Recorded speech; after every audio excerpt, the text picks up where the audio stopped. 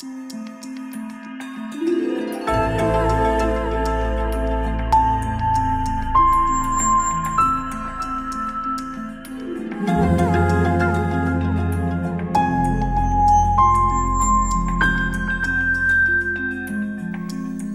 the night.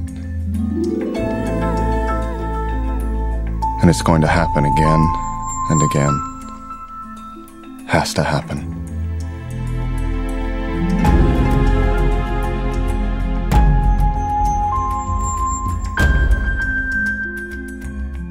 Nice night. Miami is a great town. I love the Cuban food, pork sandwiches, my favorite.